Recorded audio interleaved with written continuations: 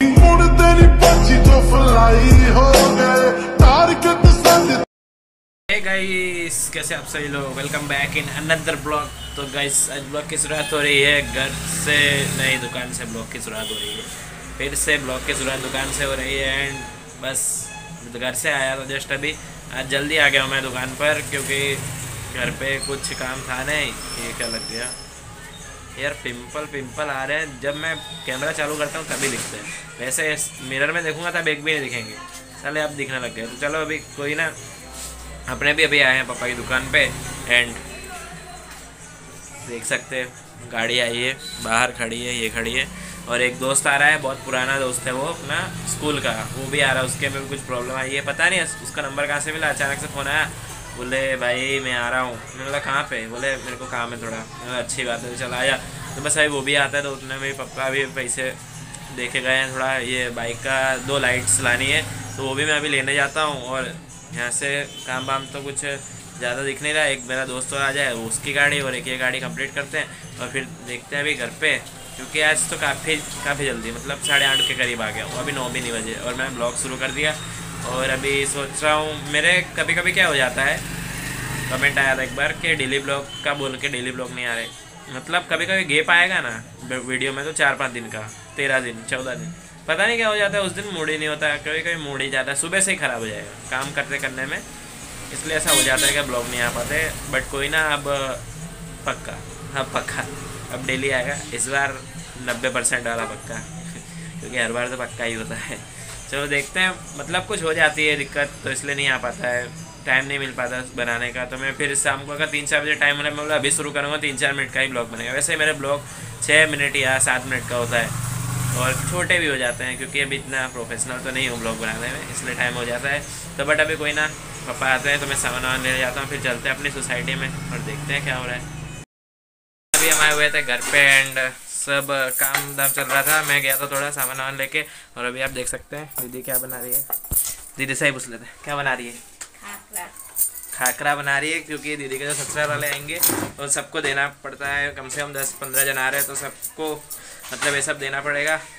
और फिर गुजिया भी बना रही है तो सब ये बना रही है दीदी और अंदर चलते अपन तो। अंदर भी मम्मी भी खाना खुना बना रही हैं और भिंडी की सब्ज़ी ये सब बना है और रोटी भी बन, बना रही है तो जब तक दीदी भी अपना काम कर रही है, मम्मी भी बना लेते हो, दीदी का काम हो जाता है, फिर हम लोग भी खाना खाने बैठते हैं, तब तक बाहर चलते देखते हैं, बाहर क्या होता है। तो गैस बस अभी अपन भी पप्पा की दुकान के लिए निकले आधे रास्ते तक पहुँच चुके हैं, और अभी मैं खाना वाना खा के गया था जीतू के घर पे, करीबन एक डेढ़ घंटे से हम उसकी एक रील एडिट कर रहे थे तो बस अभी रील एडिट करके आए। तो अभी मैं उसका लिंक भी डाल दूँगा। नीचे डिस्क्रिप्शन में तो आप लोग भी देख सकते हैं उसके अकाउंट पे वो रील एडिट किए एक। तो अभी चलो सीधे दुकान चलते हैं फिर मिलते हैं आपसे दुकान पे। सही बज रहे हैं दोपहर के कितने तीन बज गए शायद और अपन हैं घर पे। क्योंकि गए थे हम पप्पा की दुकान गए फिर वहाँ से लेट के ब्लॉग नहीं हो रहा ढंग से। ऐसे ही बैठ के करना पड़ेगा। तो पप्पा की दुकान गए वहाँ से जैसे ही गए पापा ने आज पता नहीं क्या बोल दिया आधे घंटे में बोले जाओ। आज कोई काम नहीं पापा ने सामने से बोल दिया। तो अपन भी आ गए अभी घर पे और अपने अभी कुछ नहीं, बस सोने की इच्छा हो रही है। चलो सोते हैं और ये थैंक यू रहा कैमरा यार मोबाइल ख़राब हो गया कसम से। बहुत पुराना हो गया। दो ढाई साल से ज़्यादा हो गई। इसको बदल के आईफोन 11 लेना है। आप लोग को तो बताया ही था। आईफोन 11 लेंगे, कितना? थर्टी नाइन का पड़ रहा डाउन पेमेंट पे तो नहीं, अब देखते हैं कैसे ले रहे हैं। उसको लेंगे, फिर जो ब्लॉग बनाएँगे भाई। एक नंबर। और एक, ये है जित्तू जित्तू बोल रहा था, तू क्या भाई ब्लॉग बना रहा कर करके मतलब क्या करें? बाहर जाने का होता नहीं है और आप लोग का रोज़ कुछ ना कुछ देना होता है। देखो, जब ब्लॉग एक जैसा हो जाता है, तभी मेरे गैप आ जाते हैं चार पाँच दिन के। बाकी गैप ना आते। तो देखो अभी अंदर काम ही चल रहा है। जो मेरे अंकल जी हैं, उनकी लड़की की शादी थी। जो दीदी की शादी के साथ में। अभी वंटी आई हैं, भाभी आई हैं एक। उन लोग का काम वाम चल रहा है।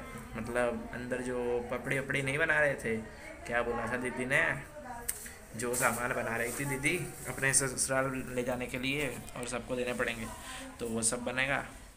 तो वो भी बन रहा है तो आंटी लोग भी सब दीदी से मिलने आए हैं, क्योंकि उनकी लड़की की शादी थी। तो वो अपने दीदी से मिले नहीं थे। तो वो लोग भी दीदी से मिलने आए हैं।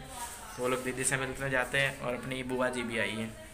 मतलब मेरी बुआ जी की जो ननद जी है, वो भी आई हैं। वो भी बुआ ही लगी अपनी। तो वो भी आई हैं, वो भी मदद करवा रही हैं। तो अब दीदी भी सब कर रही है काम और कल आ जाएँगे दीदी के ससुराल वाले सब। सब बोले तो दस जन जैसे आ रहे हैं। एकदम झांसी साई फाई लोग आ रहे हैं। चलो, कोई ना, दीदी को लेने आ रहे हैं, दीदी चली जाएगी। रोने वाला माहौल हो ही जाएगा। मैं नहीं रहूँगा इस बार। शादी में भयंकर रोया था, उस दिन मैं ब्लॉग ना बना पाया। बहुत गुस्सा आई थी मैं, कम से कम तीस दिन रहा और सिर्फ़ चार ब्लॉग। बहुत बेकार गया मेरा ब्लॉग शादी में यार। बन जाते तो कसम से बहुत अच्छे ब्लॉग चलते पर कोई ना हो गया हो गया। अभी इन लोग का काम होता है इन लोग का काम वाम होता है दिखाते हैं क्या काम चल रहा है नहीं तो फिर अपन चलेंगे बाहर सीधे आप जितू से मिलवाते हैं। बस अपन अपन आए हुए थे जीतू है घर एंड आप देख सकते हैं ये रहा जीतू। तो बस आज भाई की एक अपन ने रील एडिट की थी रुको आपको भी दिखाते हैं। यानी मैं नहीं बताया था एक डेढ़ घंटे लग गए तो रुको ये जीतू का मोबाइल में है मस्त रील एडिट हो गई है। ये देखो। ये जीतू है।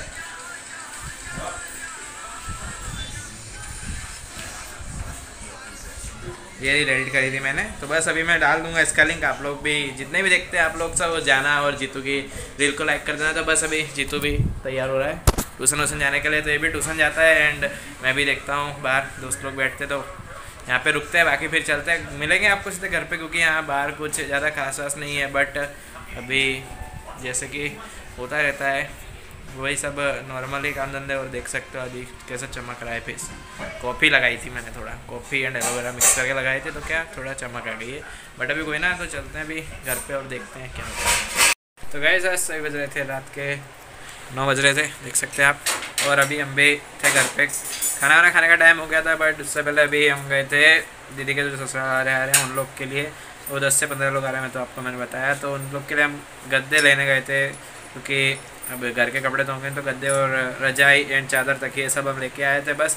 अरे मैं भी खाना खाने बैठा हूँ। खुद भी बैठी है। पर इसके लिए आई हम लोग के लिए भी। तो मैं भी बस खाना खाने बैठता हूँ। और करते हैं इस ब्लॉग को इधर पे एंड आई आपको ब्लॉग पसंद आया तो वीडियो को लाइक एंड चैनल को सब्सक्राइब ज़रूर करना। मिलता हूँ आपसे नेक्स्ट ब्लॉग में। तब तक के लिए भी सेफ़ एंड राइट से ti.